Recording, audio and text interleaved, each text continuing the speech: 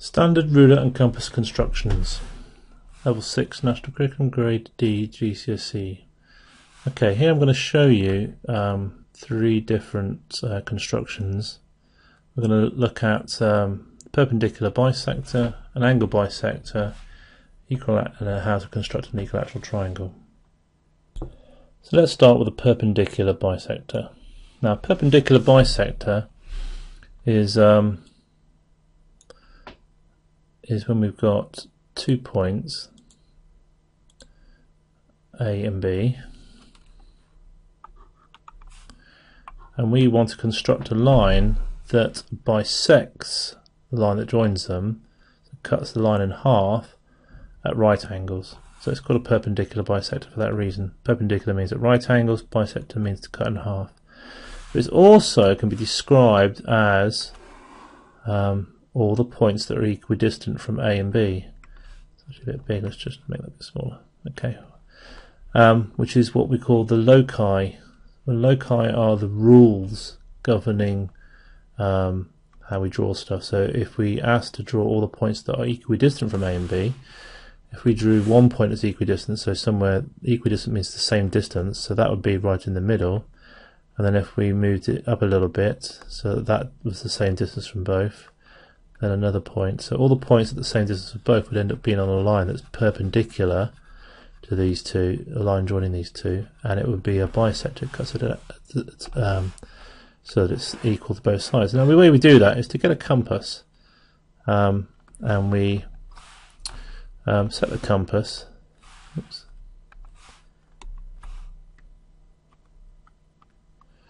So that it is um, over halfway between A and B. The reason why we do that, if it's not over halfway, then the uh, it, it, won't actually join up. So then then we we draw a sort of semicircle from there. Then we can move it over to the other side. Make sure our point's on B and draw a semicircle from there.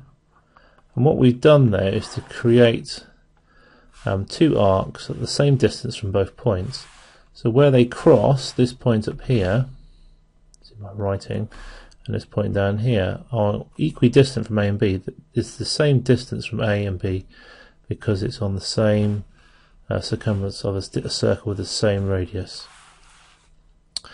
And because those two are equidistant, then all the points that are between them, so all the points that are on this line, are also equidistant, so my three points weren't quite in the right place to start with, but they give you the right idea.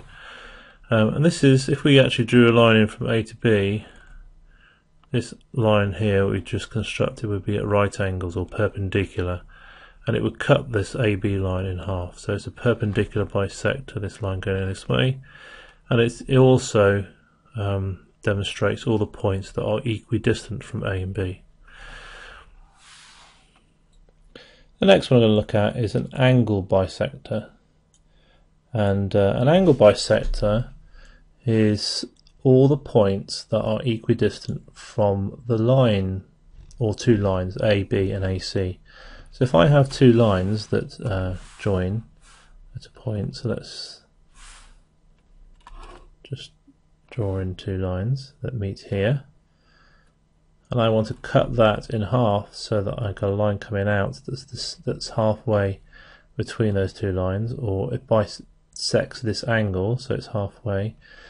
That's also constructing all the points at the same distance away from both lines um, because every point along that angle bisector will be equidistant from both lines. So to do that again we use the compass. So let's bring the compass in. Let's put the point on the, on the, on the angle um, let's move it up a little bit.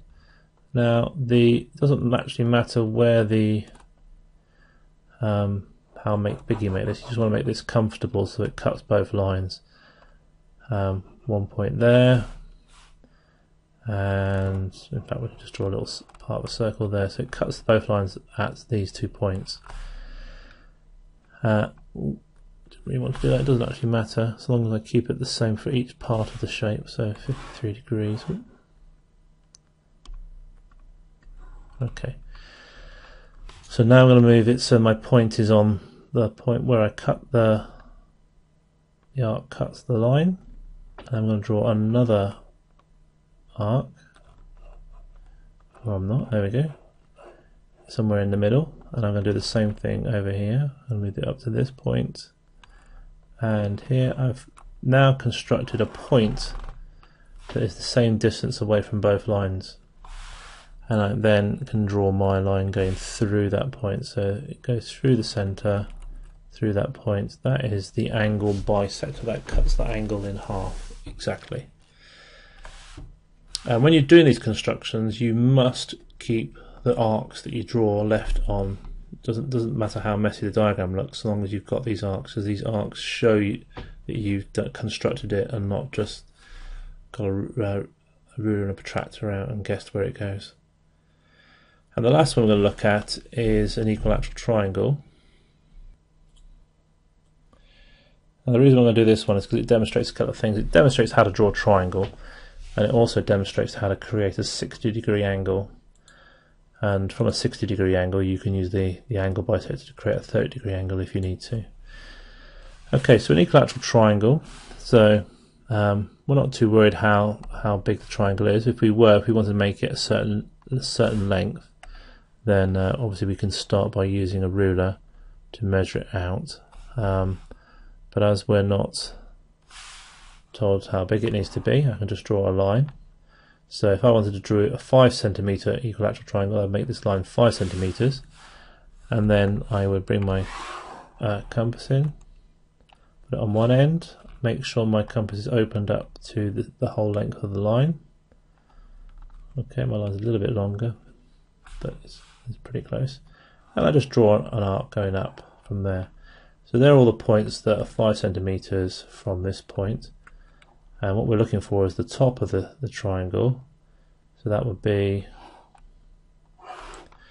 that would be all the points that are 5 centimeters from both corners. And that, that get, I can get by um, doing that arc there. And then I can just join it up from there to make my equilateral triangle. So on an equilateral triangle, all the angles are uh, all the angles are 60 degrees. So this is 60 degrees. This is 60. This is 60 because they're all equal. They must add 180. So if I need to do a 30 degree angle, I construct that angle there using the equilateral triangle, and then I bisect the angle to get 30.